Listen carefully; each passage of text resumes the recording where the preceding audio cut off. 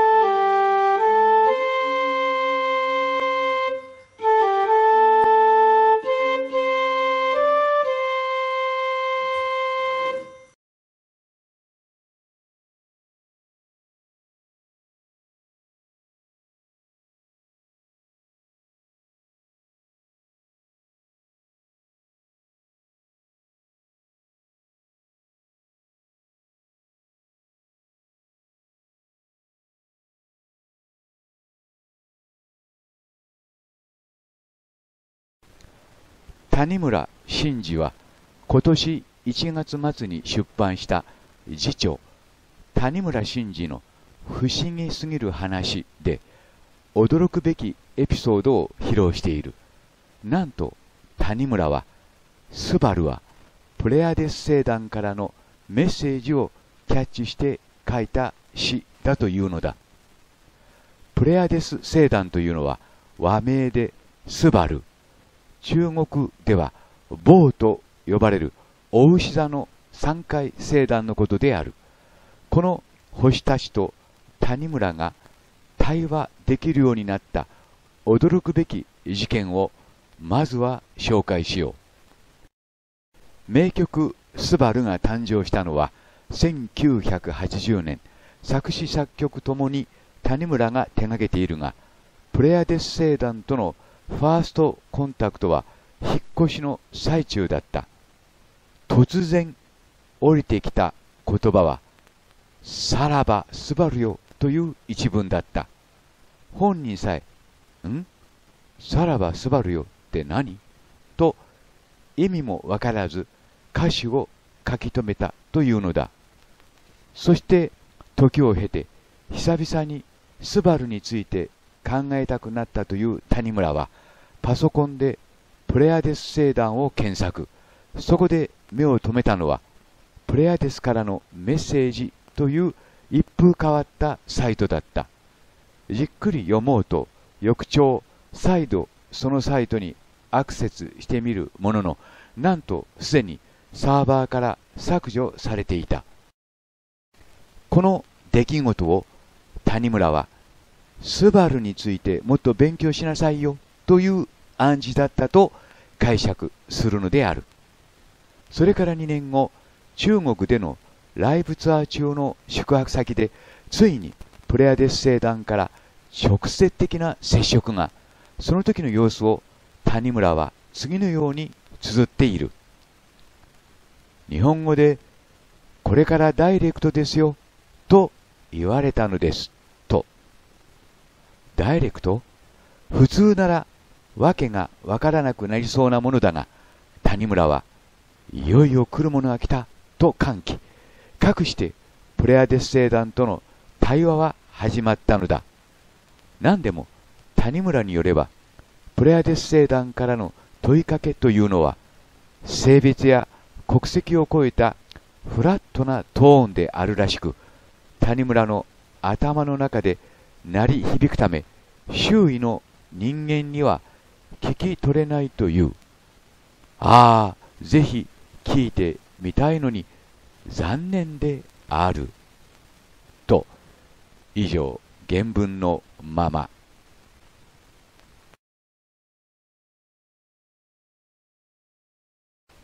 谷村新司さんの書かれた本によれば、あの名曲スバルは、プレアデス星人、つまりスバルからやってきたエイリアンによって指導され、作詞、作曲されたというのです。もう一度繰り返します。ここが重要です。あの名曲スバルは、谷村新司さんの書かれた本によれば、プレアデス星人、つまり、スバルからやってきたエイリアンによって指導され、作詞、作曲されたというのです。そして、そのスバルは、日本古来の固有音階である、ヨナ抜き音階によって作曲されていました。またの名を、電八逆六法という戦法です。つまり、ドレミファソラシの7音から4番目と7番目の音を抜くから、ヨナ抜き音階と言います。そのヨナ抜き音階は、日本古来の固有の古典音階ということになります。ここが第2番目のポイントです。日本固有の音階です。ヨナ抜き音階のことを知っていただくために、次の動画をどうかご覧になってください。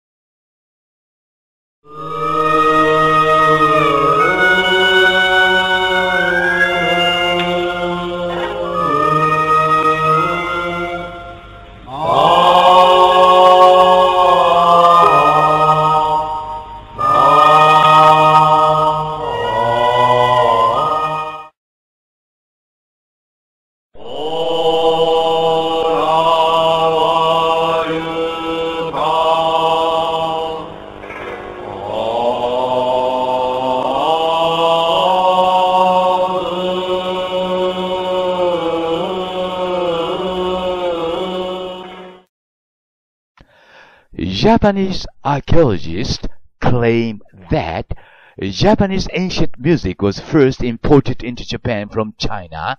However, artificially, it differs from the music of the corresponding Chinese form Yayue, which is a term reserved for ceremonial music.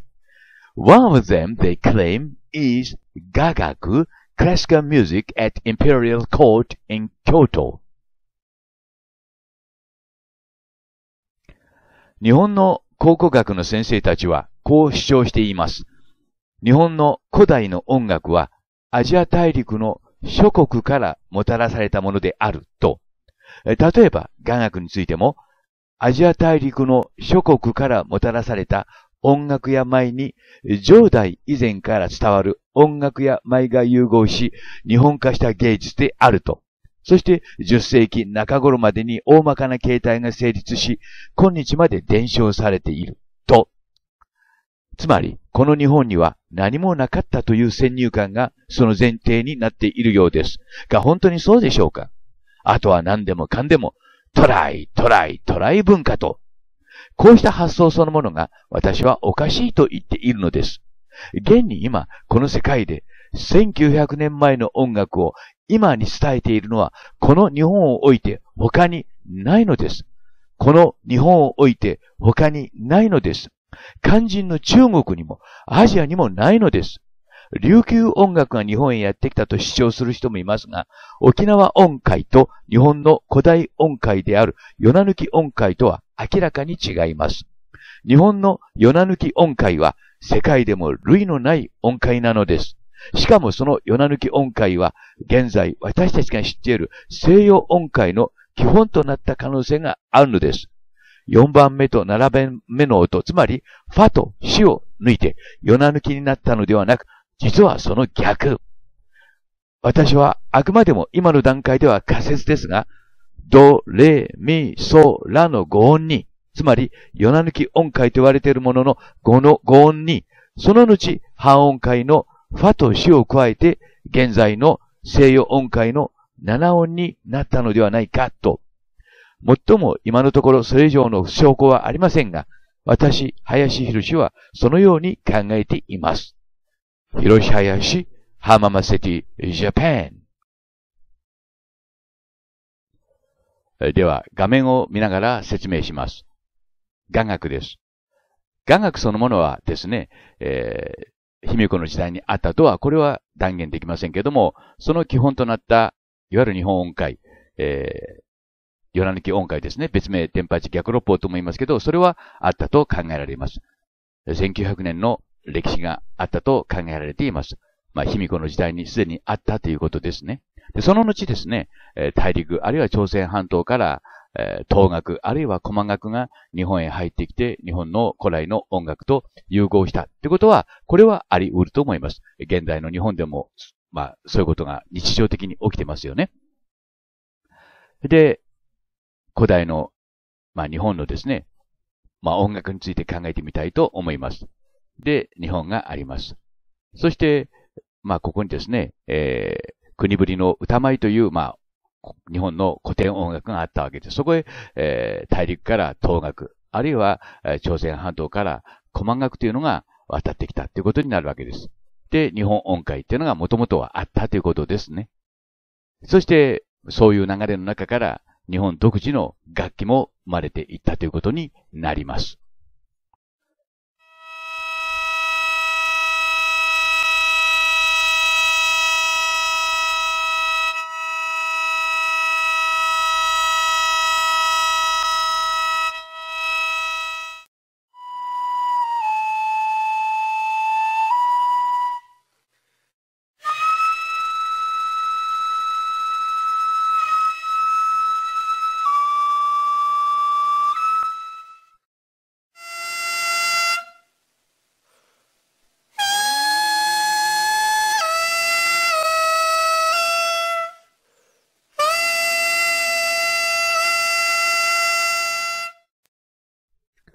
では、ヨナ抜き音階について説明します。まあ、簡単に言えばですね、えー、4番目の音と7番目の音が抜けているから、ヨナ抜き音階と言います。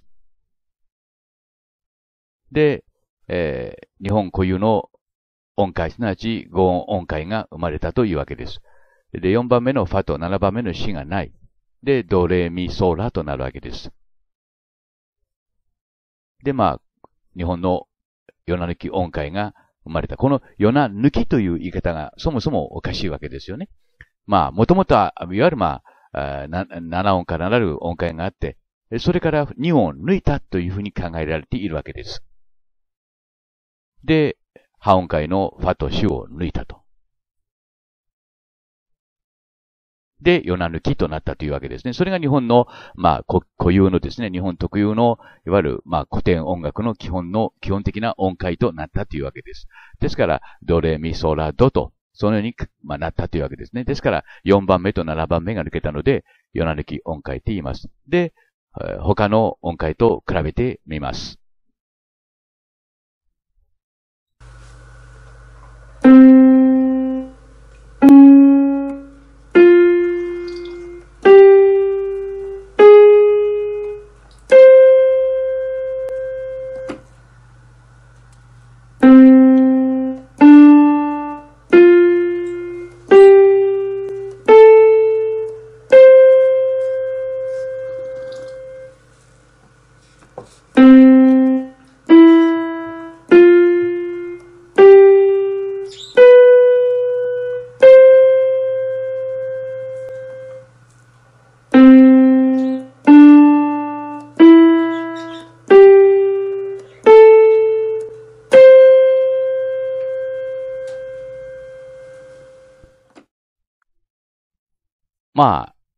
ヨナ抜き音階がですね、えー、琉球音階とも言われてますけども、沖縄音階とも違うということです。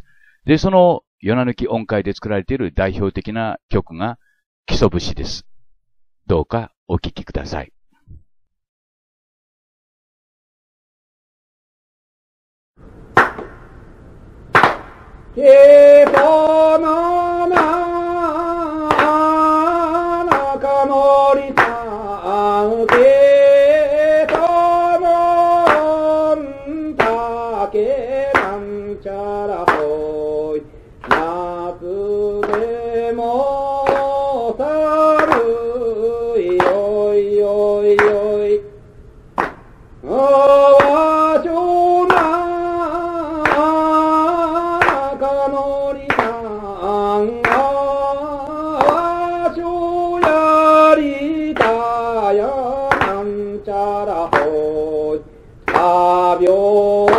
ょ添えておいおいおい。ひそ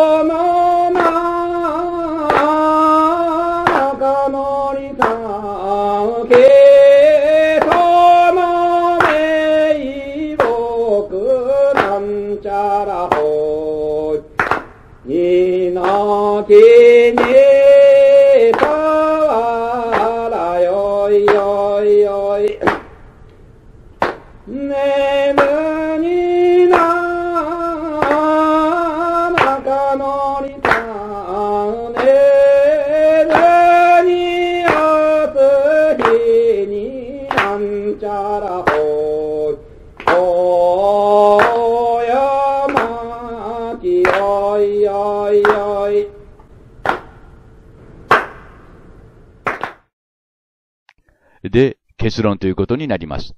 日本には日本特有の日本古来の1900年の歴史を持つ、えー、ヨナ抜き音階というのがありました。別名、電波地逆六法という音階があったわけですね。そしてそれが現在の今に伝わっているということになります。言い換えますとですね、ヨナ抜きという言い方ではなくて、ファとシュの音を抜いたからヨナ抜きというのではなくて、もともと5音であったまあ、音階にですね、えー、ファとシを足して7音になったとも考えられなくもないわけです。そしてそれが現在、えー西洋音楽の基本となったと考えられなくもない。ということになります。というのもですね、まあ多分日本音階の基本はですね、あるとしたら残っているのはエジプト音階ということになりますけども、エジプトには今何も残っていません。ですからまあ、あ現在のところですね、日本音階が一番古くて、世界の音階の基本になっているということですね。ですから、ヨナ抜き音階ではなくて、むしろ西洋音階の方がですね、二音足し音階ということになるのではないでしょうか。というのが、まあ、私の今のところの仮説ということになります。まあ、これ、これから先ね、それについてはもっと詳しく調べてみたいと思いますが、そのヒントを握っているのが、言うまでもなく、ピタゴラス音階です。それについての動画をこの後につなげておきますから、どうかご覧になってください。えつまり、音楽の世界においても、日本は世界をリードしていたということになります。Bye for now. さて、ここで重要な回り道をします。今しばらく我慢してください。星座です。オリオン座です。この右のプロメテウスの像は、オリオン座を模して作られたものと私、林印は判断しています。つまり、オリオン座の形に似せてプロメテウスの像ができたということになります。えつまり、オリオン座イコールプロメテウスと私、林博は考えています。が、ここが今日のポイントではありません。そのオリオン座の右上にタウルス、つまり、お牛座が位置しています。そのお牛座の一角に、スバルがあります。反転しました。えー右下がスバルです。プレアデス、聖壇です。このお牛座を模してミトラ像ができました。いわゆるポーズが同じということですね。で、その右下にスバルが位置するということです。プレアデス聖壇が位置します。そして同じポーズの絵がサンタアポリナーレ・ヌーボーの教会の壁画として描かれています。えー共にフリーギア帽をかぶっている点に注意してください。こうして三者がつながりました。で、ここでの重要なポイントは、オリオン座とオウシ座は全体として一体化しているということです。そして左下にあるのが天空で一番明るい星、シリウスです。中央にあるのがオリオン座、そしてアルデバランです。えー、大牛座の中で最も明るい星です。そしてその上にプレアデス、すなわちスバルが位置します。ここでプレアデスとシえーシリウスがつながります。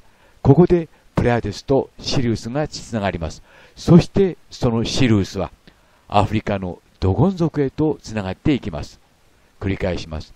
シリウスはアフリカのドゴン族へとつながっていきます。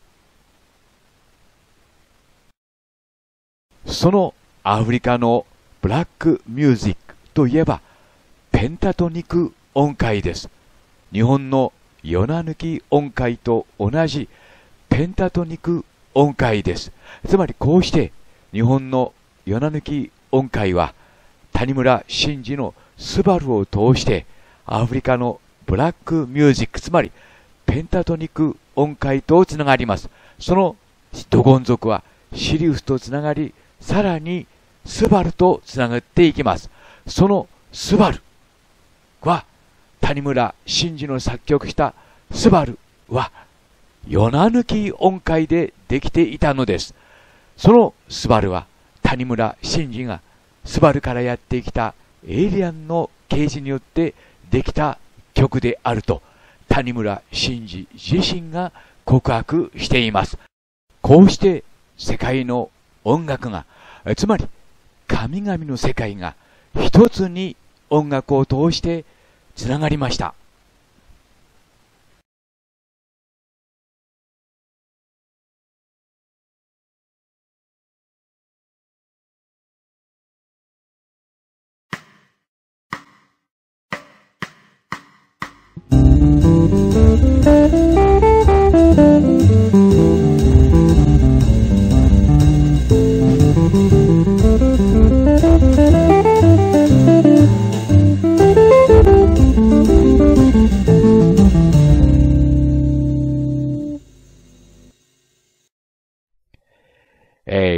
pentatonic scale is a musical scale or mode with five notes per octave in contrast to a heptatonic or seven note scale such as the major scale and minor scale. Pentatonic scales are very common and are found all over the world. ペンタトニック音階というのは、7音階とは違い、5つの音階からなる 音階を言います。5音階は世界中で広く使われています。わかりやすく言えば、7音階から2音階抜いた音階ということになりますが、抜け方にはいろいろあります。で、その一つ、つまり4番目のファと7番目のシを抜いたのが日本のヨナ抜き音階ということになります。それについての動画はこの後につなげておきますが、そのヨナ抜き音階と同じ音階が黒人音楽のブルースでもその基礎となっているというのです。広し林浜祭りジャパン。では画面を見ながら説明します。7つの音からなる7音階に対して5つの音からなる音階を、えー、ペンタトニックスケール、あるいはペンタトニック音階と言います。音の抜き方はいろいろあります。この日本にも何種類かあります。琉球音階もその中の一つです。そのペンタトニックスケールに対して、ジャジャマ一平さんからこのようなメールが届きました。アメリカのジャズのブルースにはですね、えー、日本の古来の音階と同じ、ヨナ抜き音階が使われているというのです。そのブルースというのはですね、アメリカでできた、まあ、ジャンルですけども、元は黒人霊歌なんですね。で、さらにその黒人霊歌のルーツは何かと言いますと、アフリカ大陸のブラックミュージックということになります。となりますと、えブラックミュージックとですね、日本の古来のヨナ抜き音階と何かの関連性があるのではないかということになりますけども、これ以上のことはここでは調べられませんでした。まあ、4番目の音と7番目の音ですね。ファとシを抜いたから、ヨナ抜き音階と言います。詳しく続くビデオの中で説明いたします。で、それと同じものが、どうやらアフリカ大陸でも使われていたということになるわけです。えー、ひょっとしたら、エジプト音階と一致するかもしれません。何しろ、音の世界の話ですから、物的証拠は残っていません。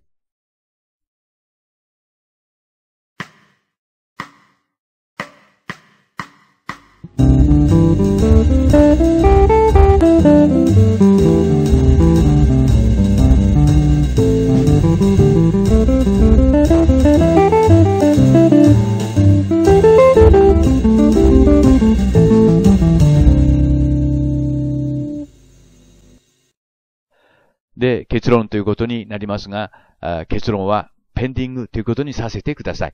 ただ、事実としてはですね、日本古来の特有のヨナ抜き音階という同じ音階がですね、どうやらアフリカ大陸でも使われていた可能性があるということになります。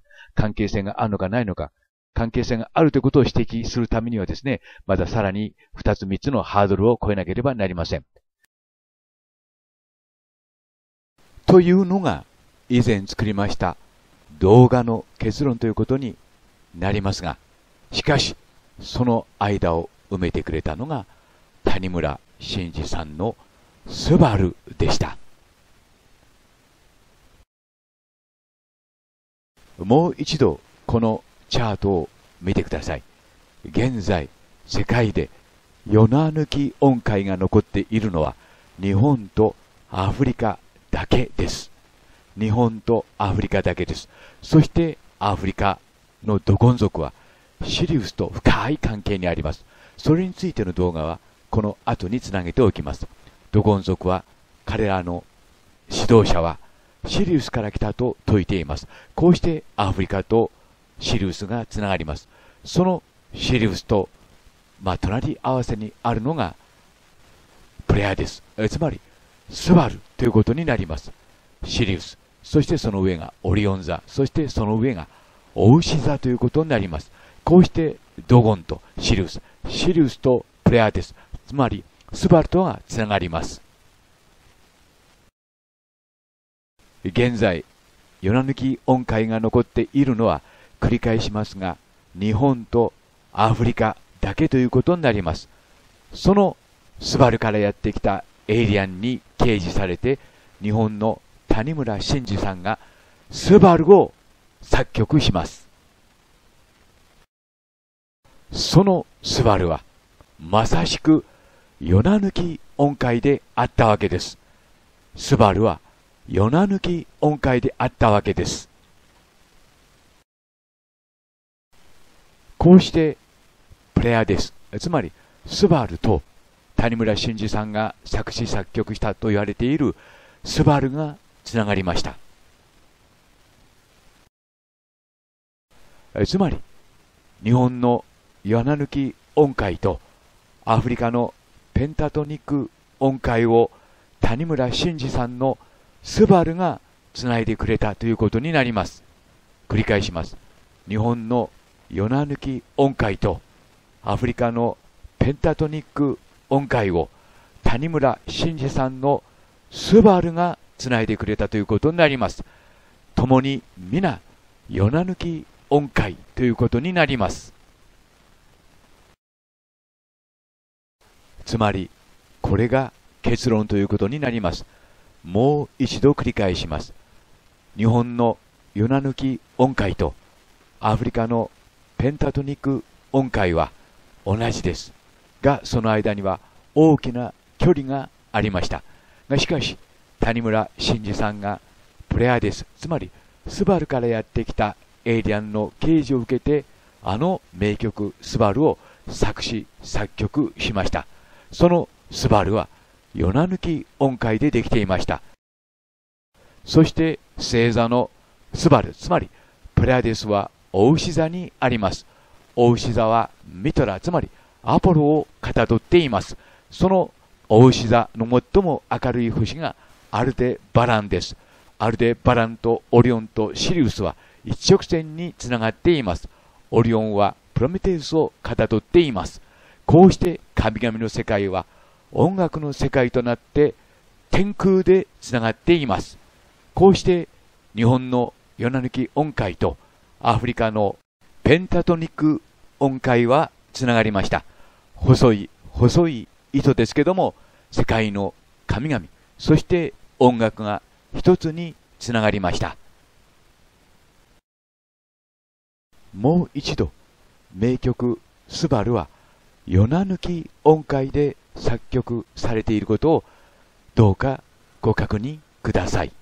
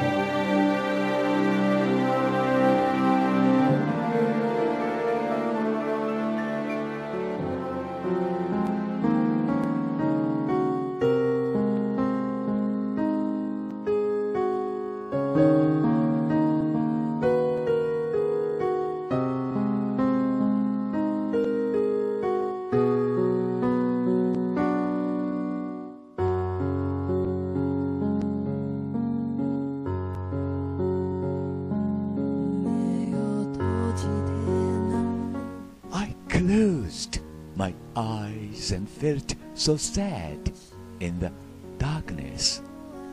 So I opened them again, but all I saw was a lonesome road running towards the wilderness. Oh, you stars of fate, destined to shatter us in pieces, just shine on me silently. I will be on my way with bluish white cheeks. I will be on my way. Farewell to you, the Pleiades. Every time I breathe, the cold wind whistles in my chest, but my heart keeps warm in the pursuit of my dream. Oh, you nameless sparkling stars, just end your lives brilliantly. I too will be on my way, following the voice of my heart. I too will be on my way. Farewell to you, the Pleiades. Oh, someday someone may go this road. Oh, someday someone may go this road. I will be on my way with bluish white cheeks. I will be on my way. Farewell to you, the Pleiades. I will be on my way. Farewell to you, the Pleiades.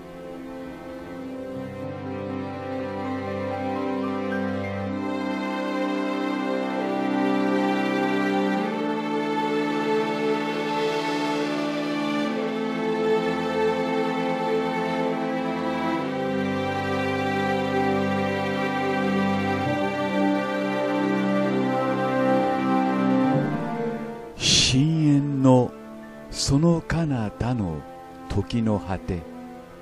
まだ見やらぬ夢のその夢の中。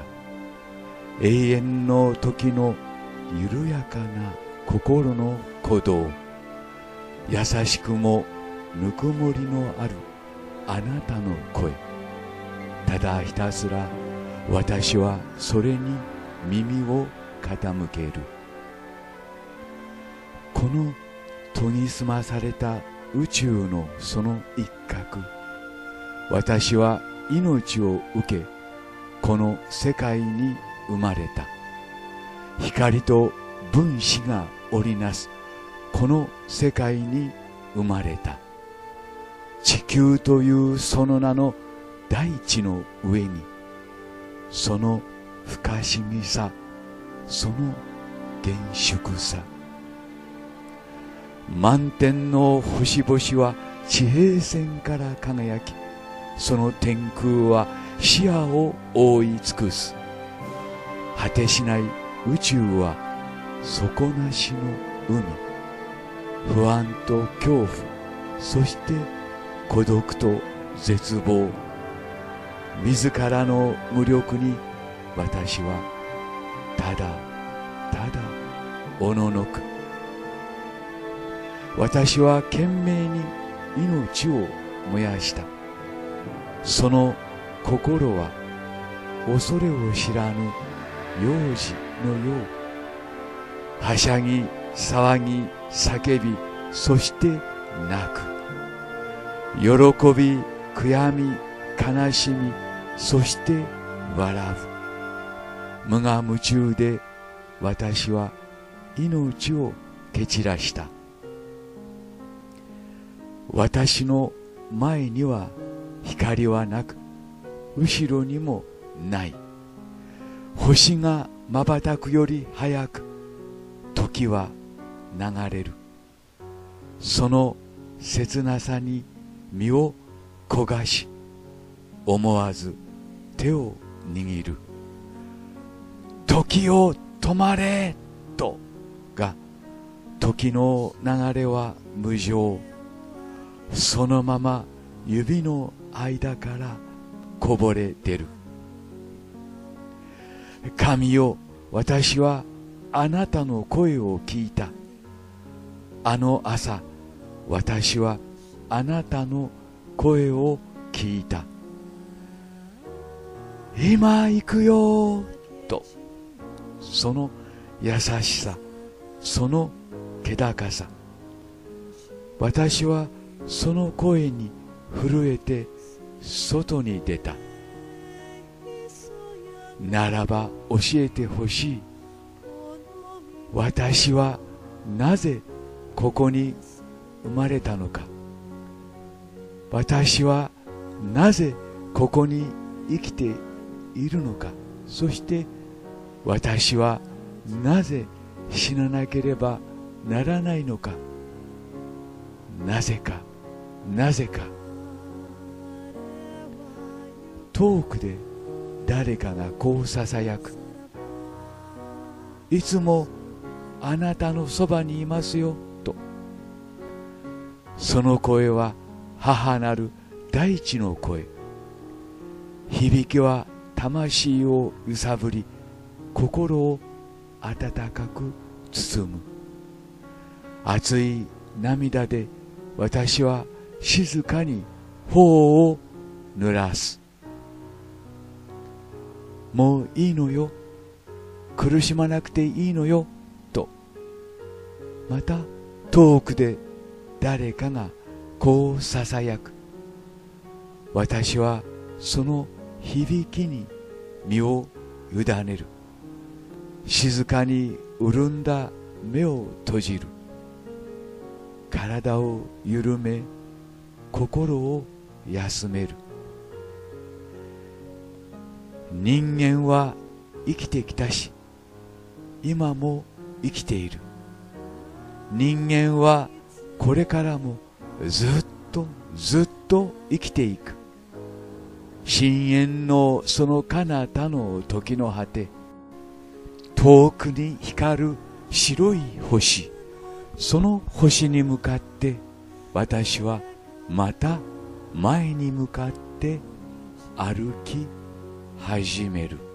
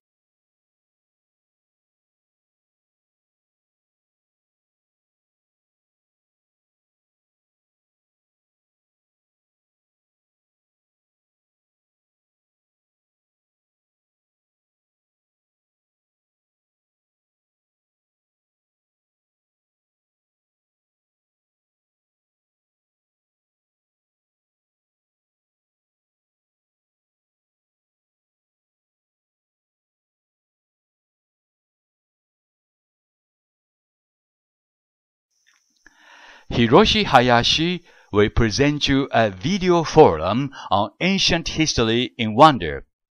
Today's story is about the Dagon tribe and their mysterious connection to Sirius by Ancient Cade.com website. Ancient Cade.com website start its story as follows by saying, The brightest star in the sky is Sirius, without a doubt. The name Sirius comes from the Greek language and is translated as a glowing star or bright star.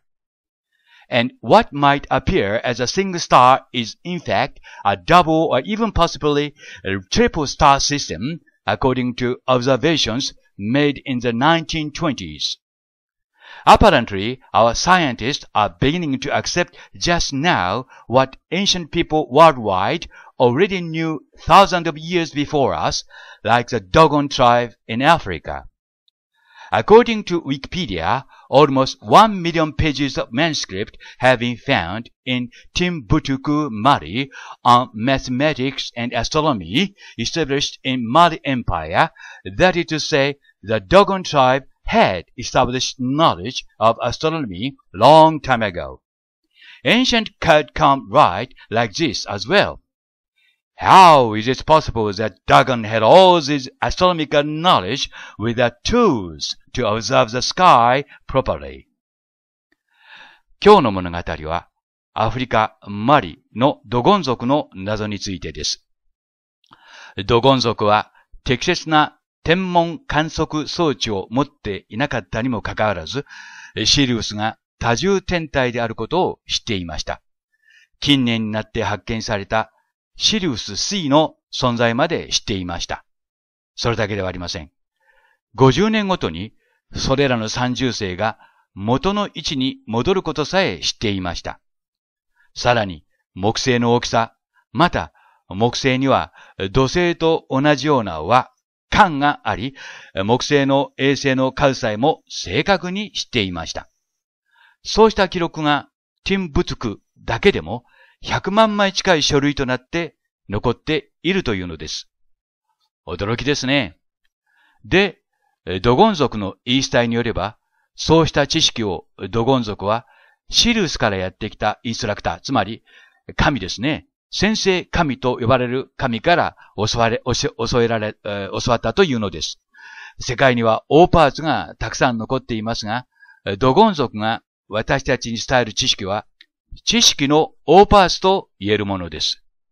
また、ドゴン族周辺からは奇妙なアーティファクトがたくさん見つかっています。精緻なビーズ玉でよく知られているドゴン族ですが、中にはというより、どれも異星人との深いつながりを示すものもたくさん発見されています。で、大切なことは、こうした事実から、その向こうにある理論を組み立てていくことではないでしょうか。発見した不思議だ発見した不思議だだけを繰り返していては前には進めないということです。さらに言えば、こうした事実を活かすこともできなければ、私たち人間の先祖の知恵や知識を人間の未来に向かって役に立てていくことができないということです。つまりこうした情報を素直に拾い集めれば、その向こうにシリウスからやってきたエイリアンの姿をそのまま見ることができます。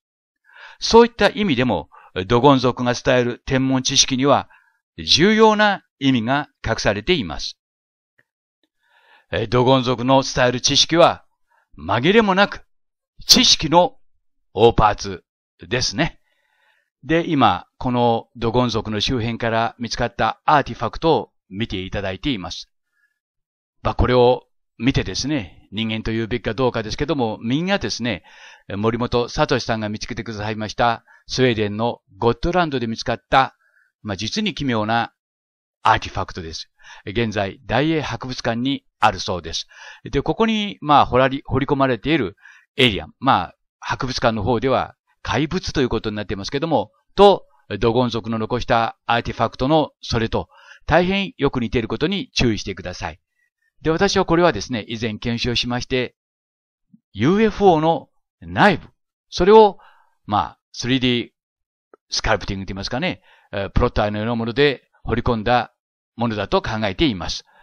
実にまあ聖地と言いますか、奇妙なブローチ。まあ、大博物館の方ではブローチと表現しています。大きさはわかりませんけども、ブローチ台の大きさだからブローチと言われているんだと思います。で、もうこうして見ていきますとですね、シートベルトをつけたエイリアンが二人、えー、座っているのがわかります。そして中央にはですね、コントロールキー、あるいはその重力制御装置のようなものがついていると。私はそのように判断しました。というのはこれと同じものがですね、えー、デンマークでも見つかってますし、さらに遠く離れた、えー、マヤ、アステカでも見つかっているからです。まあ、それはともかくも、こうして比べてみますと、ここに、まあ、掘り込まれている、まあ、ここにですね、説明ありますけど、10世紀頃、えー、スウェーデンのガットランドで作られたものであると。で、ここに掘り込まれているのは、アニマルであると。動物であるというわけですね。まあ、それに納得するかどうか、あるいは逆にどちらがこじつけかという問題にもなるわけですよね。